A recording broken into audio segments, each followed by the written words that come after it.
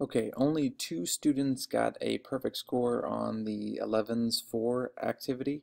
So I just wanted to go over what it took to get a uh, perfect score. So first of all, um, shuffle should be included in the constructor of the deck. So once you build the deck, uh, now that we have a shuffle method, um, a an ordered deck is not going to be of any use. So as soon as you set the size, uh, then the deck should be shuffled. Um, so a few people caught on to that, um, and that's just thinking through the app and what's needed. What I should be able to see is really, really easy code that if I run your deck tester, then I can just quickly see that, oh yeah, all right, here's a full deck and look at it shuffled. So um, I don't need to look through your code. I can just quickly look through a very well sorted output and see, um, okay, their size variable is working. That's cool. That uh, I can see that they haven't dealt anything and uh, and that it's shuffled. That you know that I can just look through this output and see a very clearly organized um, deck, and uh, it's um, methodically testing each method. Um, so that's what the uh, tester or unit test um, uh, is all about. So um, we're including spacing, we're including uh, so spacing here, spacing by printing lines, section uh, uh, titles. Um, it's a variety of different uh, attempts, very clearly formed decks. Um, so all of this is is pretty cleanly done. Okay, so um, this example gets a little bit carried away with this. Um, we don't need to specify this absolutely every time. I mean, you can. This is accurate. Uh, but um, here, one second. Okay, I got rid of the, this. Um, but some of you uh, guys were creating cards right here in the shuffle method.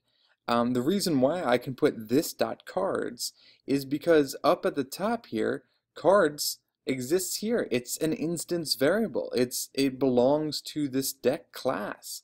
So uh, that's why I can do this deck of cards. So this inside this deck object, there are cards, um, which is a private uh, array list. Um, so that's why I don't need to uh, redefine them um, inside the shuffle method. Cards is there already. Um, it was it was built in the constructor, so you don't need to establish it or redefine it in this method. It already exists um, as an instance variable and it's configured in the constructor.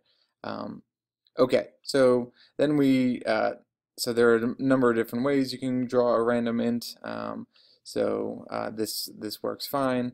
So we just uh, draw a random int. Um, we scale. Oh wow, this loop is going the wrong way too. Um, I mean, it works fine too. This this approach also works, but we were counting down um, instead of counting up. Um, but uh, what's important is the three-part swap with a random position, um, and then once it's done uh, with the loop.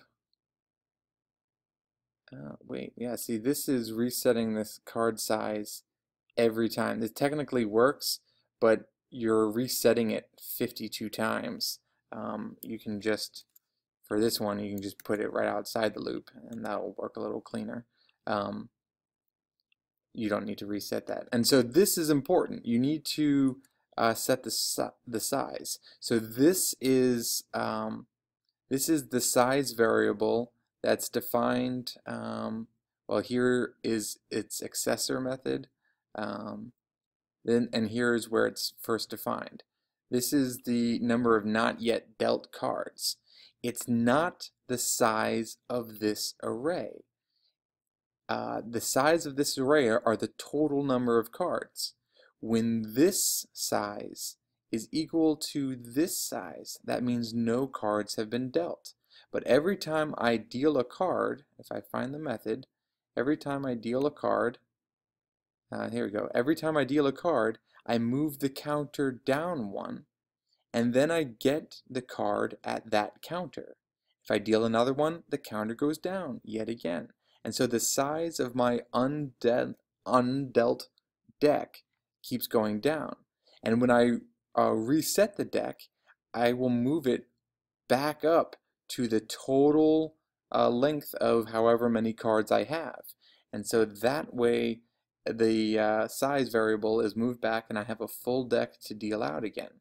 Um, so this this line of code was missed a lot and uh, and that's something that you need to need to include.